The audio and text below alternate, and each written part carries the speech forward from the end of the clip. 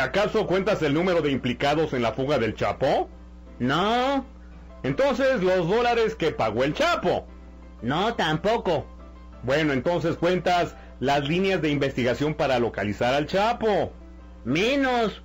Bueno, entonces las mañas del Chapo para fugarse. Tampoco. Entonces, eh, ¿qué cuentas? Cuento las carcajadas que está pegando el Chapo. El punto crítico. En Fórmula Femenina continuaremos en un momento. Oye, ¿cómo se dice llaves en inglés? Kiss. Úsalo en una frase. Kiss me. En este regreso a clases, si lo que pensaste no fue lo que dijiste, ven a Harmon Hall y aprende el mejor inglés. Llama al 01800 422 5292 o ingresa a harmonhall.com. Harmon Hall, con garantía de aprendizaje. 10 pesitos al día, muy fácil tú puedes ahorrar. Poco a poco un retiro más digno vas a asegurar. 10 morlacos, 10 baros o como les quieras llamar. Es sencillo lograrlo sin tu bolsillo afectar.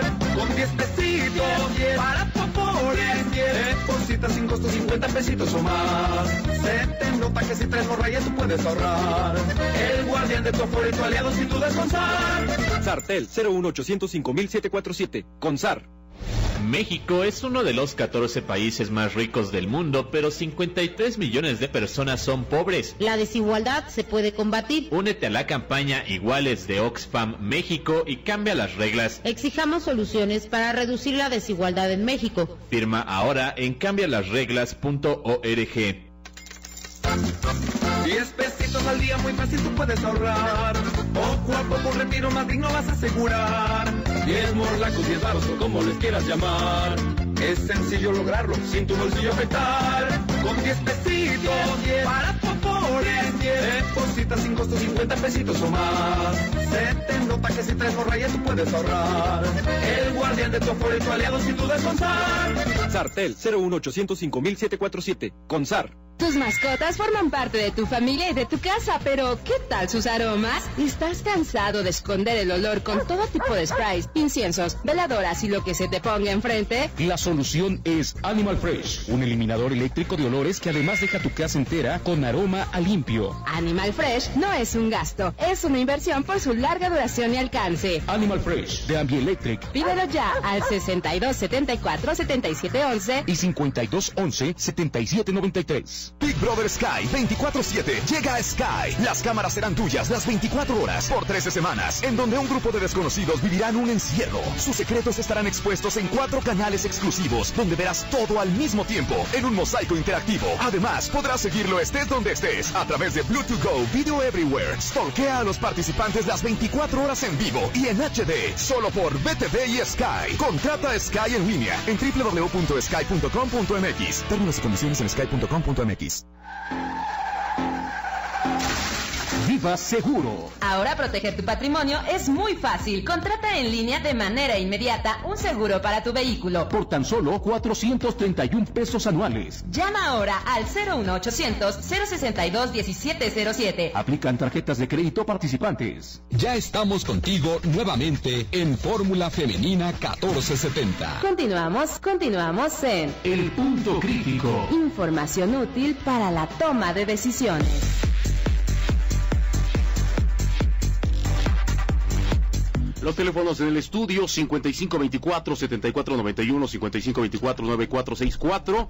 Boletos Príncipe Azul se busca sapos, abstenerse. Este domingo 19 de julio 5.30 y 7.30 allá en el Teatro Tepeyac, muy cerca del Metro La Villa. Los invitamos. Llamen en este momento, el punto crítico te lleva a los mejores eventos. En facebook.com, el punto crítico y en arroba el punto crítico con información útil para la toma de decisiones.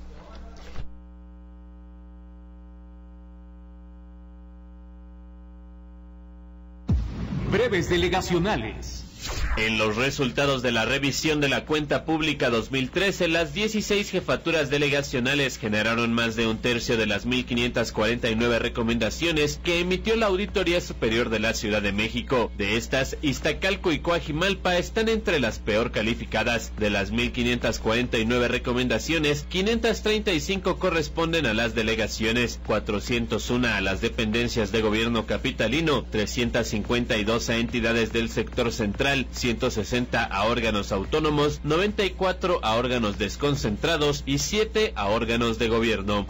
Debido a la incidencia de robo a casa habitación que se incrementa durante el periodo vacacional, la Secretaría de Seguridad Pública Capitalina anunció ayer que patrullará diariamente calles de la delegación Benito Juárez con una fuerza policíaca de 600 elementos durante las 24 horas del día hasta el próximo 17 de agosto en el Parque Arboledas Luis Rosales Gamboa, subsecretario de Operación Policial, dio inicio al operativo en el que trabajarán conjuntamente con la PGJDF.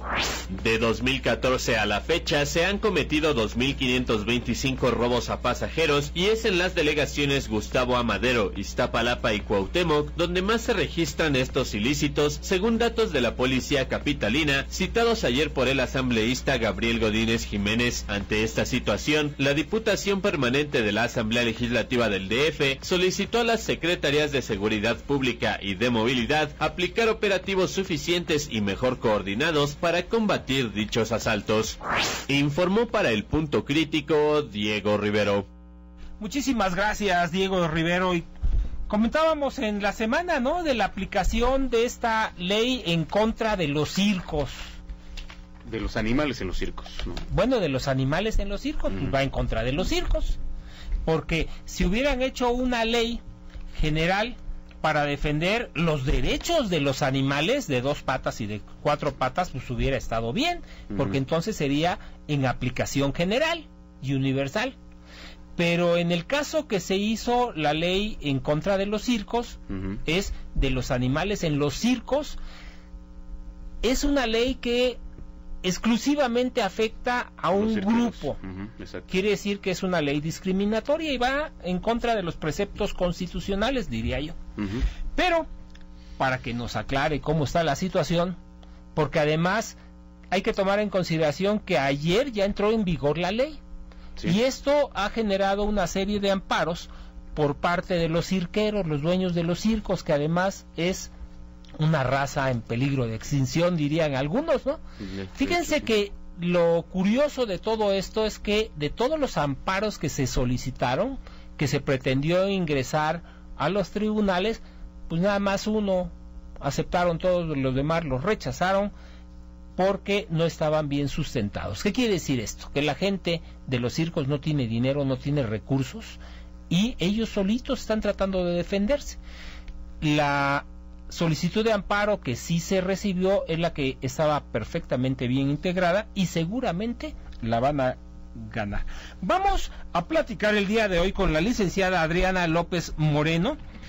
Ella es diputada del Partido Verde Ecologista por el estado de Chiapas y es presidenta de la Comisión del Medio Ambiente y Recursos Naturales e integrante de la Comisión de Agua Potable y Saneamiento, así como de eh, Cambio Climático.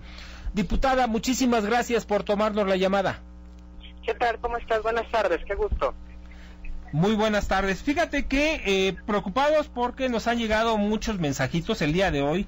Propusimos por Facebook este tema y nos han llegado muchos mensajes en el sentido de que hay un malestar porque se aplicó nada más de manera sesgada la ley y que no es una ley general. ¿Tú nos podrías explicar cuál es el espíritu del legislador con respecto a la ley y qué alcances tiene? Claro, primero comentar, y porque creo que ha habido mucha desinformación en torno al tema, primero comentar que no se trata de una nueva ley o de una ley en contra de los circos, como se ha señalado. Se trata de una modificación al artículo 78 de la Ley General de Vida Silvestre. Entonces, es muy importante comentar esto porque de repente en este ejercicio de desinformación, como que si se tratara de una nueva ley o de una este, nueva eh, normativa, pues comentar primero que la Ley General de Vida Silvestre es la que regula en sí todos los ejemplares de vida silvestre en cuanto a uso, aprovechamiento e incluso también la situación de aquellos que se encuentran en vida libre.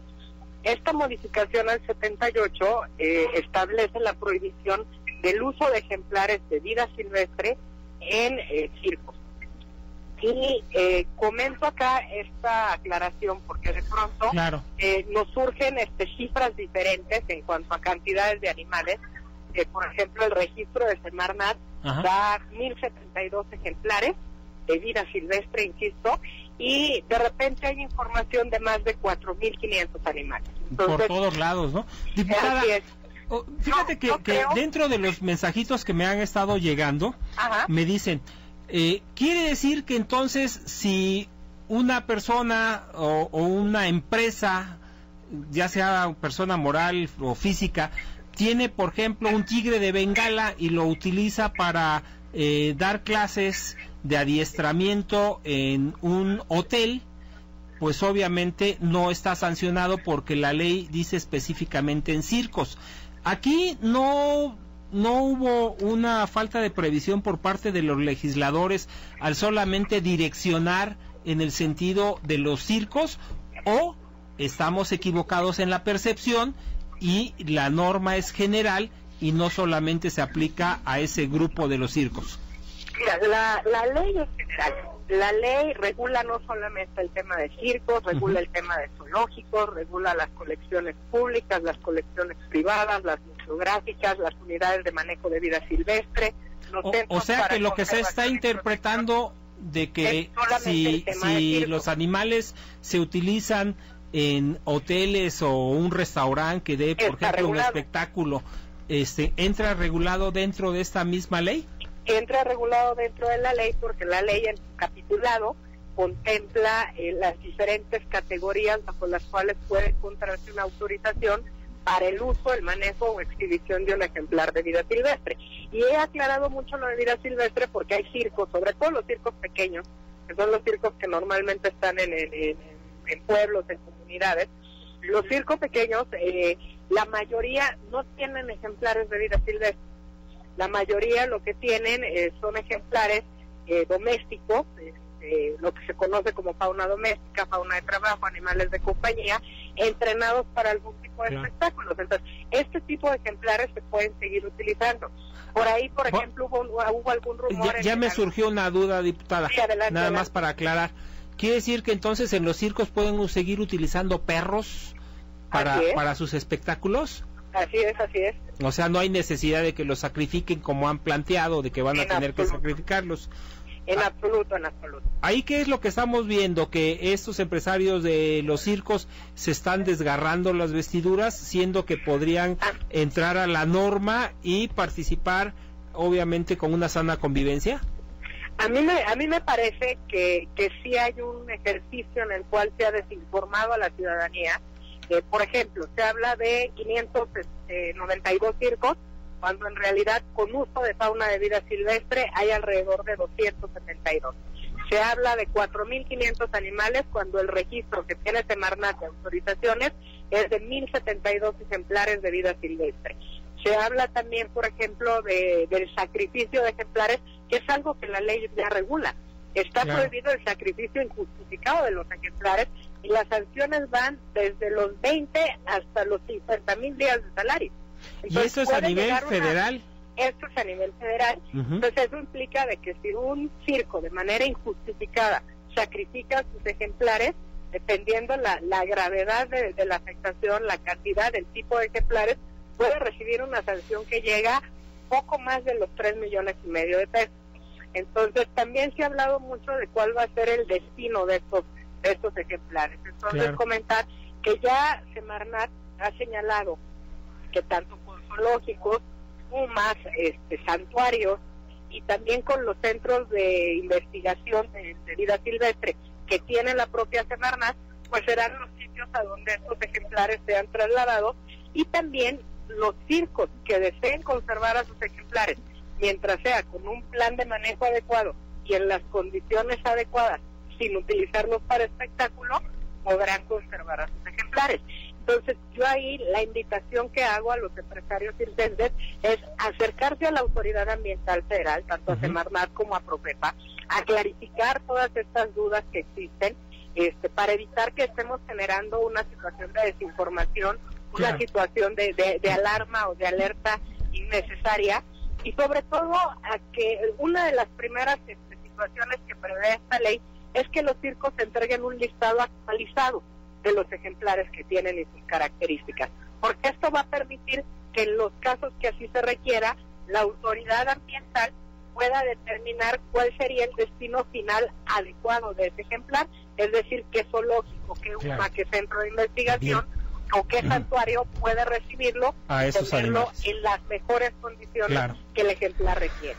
Diputada, pues te agradezco muchísimo que nos hayas hecho todas estas aclaraciones y me gustaría invitarte a esta mesa de trabajo para que ahondemos muchísimo más sobre el tema, porque esto tiene para rato, para platicarlo, dándonos un buen tiempo. Te agradezco infinitamente Claro que que nos hayas hecho el favor de tomar la llamada. Al contrario, muchísimas gracias por su interés en el tema, por su interés en informar y el día que ustedes gusten.